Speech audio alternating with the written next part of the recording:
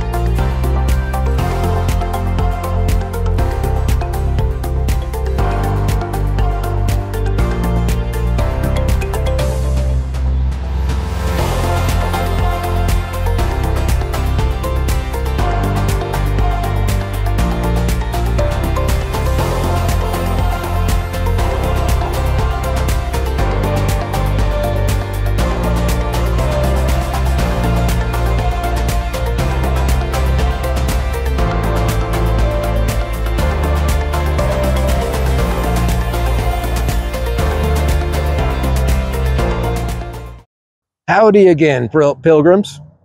We're here on Paul's Trail, a little bit further east.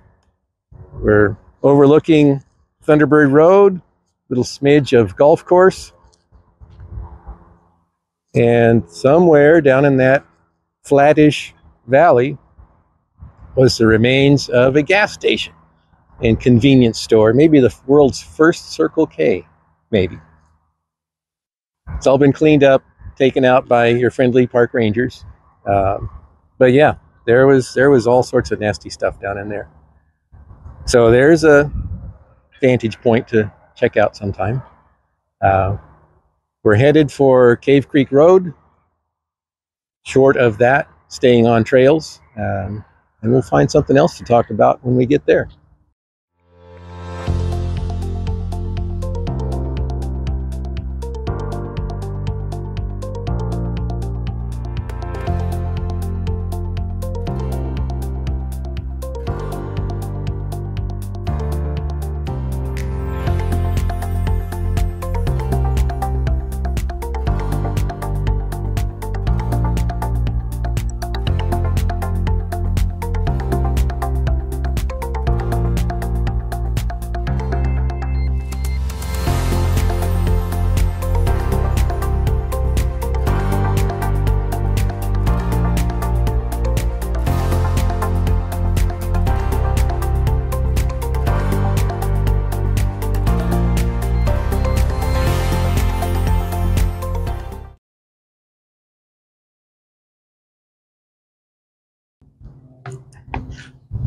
Yes, just look at that lovely trail surface.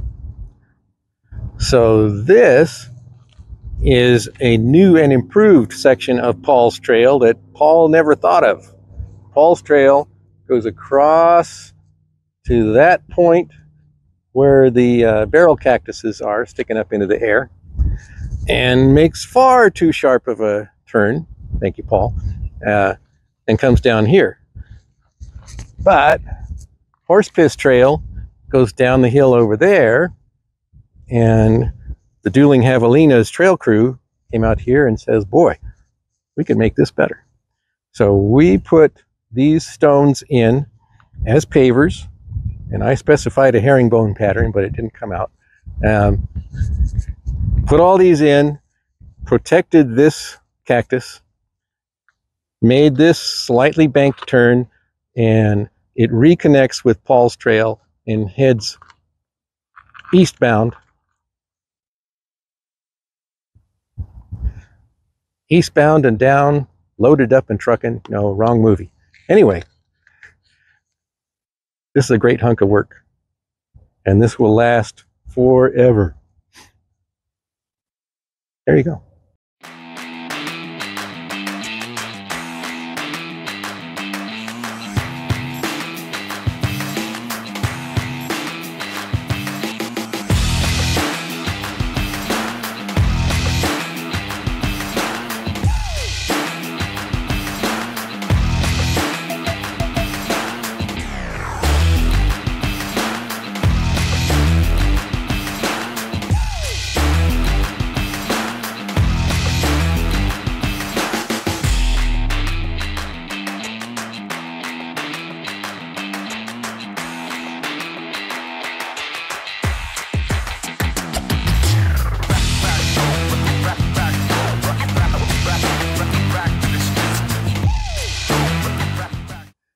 Friends, be very careful riding through this section of Paul's Trail. We're below Thunderbird, we're short of Cave Creek, and right there is Shelob's lair. Remember the big spider? Lord of the Rings? Paul is a fan of Lord of the Rings. We took all the scrap metal that we found at that abandoned gas station site and, hmm, What'll I do with all this? I bent it and shaped it and welded it into a spider. Barely fit in the back of my eight foot bed, clunky old 64 Ford pickup. Brought it here, carried it down from that location. 55 gallon drum for the main body, legs. I've still got the head. Now the folks from North Mountain Visitor Center have removed my spider but I'm going to get with them and bring it back and attach her head so she'll be complete.